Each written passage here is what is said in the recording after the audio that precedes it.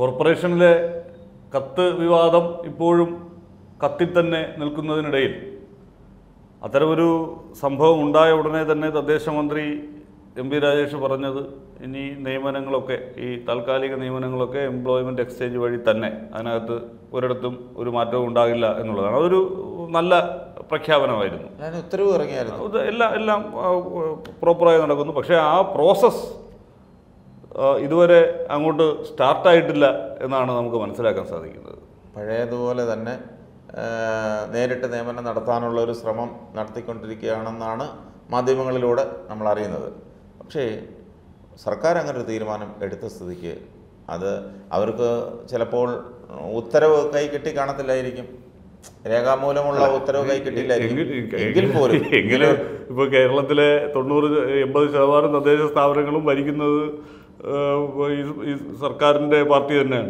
തന്നെയാണ്. അപ്പോൾ പിന്നെ ഇനി ഉത്തരവ് കിട്ടിയില്ല എന്നൊന്നും പറഞ്ഞ് ഒരു മുട്ട ന്യായമൊന്നും അതിനകത്ത് വയ്ക്കേണ്ടുന്ന കാര്യമില്ല. അത് എംപ്ലോയ്മെന്റ് എക്സ്ചേഞ്ച് വഴിയെങ്കിൽ എംപ്ലോയ്മെന്റ് എക്സ്ചേഞ്ച് വഴി.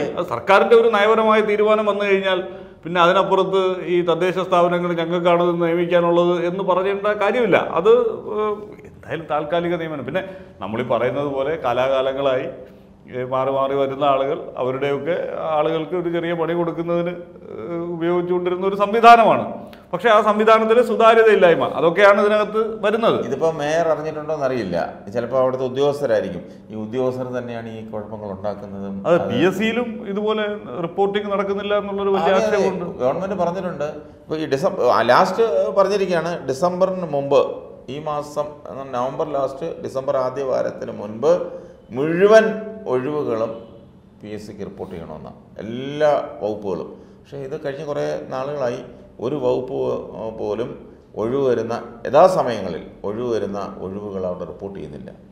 അതെ ഇടയ്ക്കിടെ സർക്കാർ മുന്നറിയിപ്പ് കൊടുക്കും. മുഖ്യമന്ത്രിയും ഇടയ്ക്കിടെ പറയാറുണ്ട് ഒഴിവുകൾ നികത്തണം ഒഴിവുകൾ റിപ്പോർട്ട് ചെയ്യണം എന്നുള്ളത്.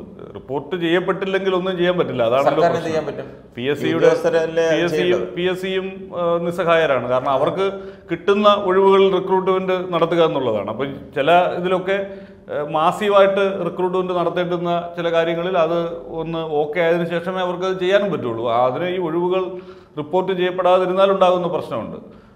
ഈ ഉദ്യോഗസ്ഥരുടെ മനോഭാവം ഒരു വലിയ പ്രശ്നമാണ്. നമ്മൾ അങ്ങോട്ടേക്ക് പൂർണമായും ഈ സിസ്റ്റത്തിലേക്കൊക്കെ അങ്ങോട്ട് മാറാൻ ഇപ്പോഴും തയ്യാറായിട്ടില്ല എന്ന് പറയുന്ന ഒരു അവസ്ഥയുണ്ട്. ശരിക്കും മുഖ്യമന്ത്രി ഈ പൊതുഭരണ വകുപ്പൊക്കെ അദ്ദേഹമാണ് കൈകാര്യം ചെയ്യുന്നത് എന്നുള്ളത് കൊണ്ട് കുറച്ചും കൂടി ഇതിനകത്തൊരു പിടി മുറുക്കേണ്ടുന്ന സമയം അതിക്രമിച്ചിരിക്കുന്നു എന്ന് തോന്നുന്നു. ഇതിപ്പോൾ ഒഴിവുകൾ നികത്താത്തത് കൊണ്ട് അവർക്ക് അപ്പോൾ ഈ കാര്യങ്ങളൊക്കെ സുഖമായി നടക്കണമെങ്കിൽ ചിലപ്പം അവിടെ ആളുണ്ടെങ്കിലേ വെക്കും. അതിനായിരിക്കും താൽക്കാലികമായിട്ട് ആളുകളെ എടുത്തു വെക്കുന്നത്. ഈ താൽക്കാലികമായിട്ട് ആളിനെ എടുത്തു വെക്കുന്നത് അവസാനം ഒരു ബാധ്യതയായിട്ട് വരും. അവരെ ചിലപ്പം സ്ഥിരപ്പെടുത്തേണ്ടി വരും. ഇതൊക്കെയാണ് ഇതിനകത്ത് നടക്കുന്നത്. സുപ്രീം കോടതിയുടെ ഒരു പഴയ വിധിയുണ്ട്. പത്ത് വർഷം പൂർത്തിയാക്കിയ ഒരു സർവീസിൽ പത്ത് വർഷം പൂർത്തിയാക്കിയ താൽക്കാലിക ജീവനക്കാരെ സ്ഥിരപ്പെടുത്താം. അങ്ങനെ ആ ഉത്തരവ് വെച്ച് ഒരുപാട് പേരെ സ്ഥിരപ്പെടുത്തിയിട്ടുണ്ട്. കഴിഞ്ഞ ദിവസം രാജസ്ഥാനിൽ അവർ ഒന്നാം പേജിൽ വലിയൊരു പരസ്യം നൽകിയിരുന്ന ഇതായിരുന്നല്ലോ ഈ താൽക്കാലികക്കാരെ സ്ഥിരപ്പെടുത്തുക എന്നുള്ളത്. അത് ഒരു തെരഞ്ഞെടുപ്പ് വാഗ്ദാനമായിരുന്നു അതെ. അവിടെ.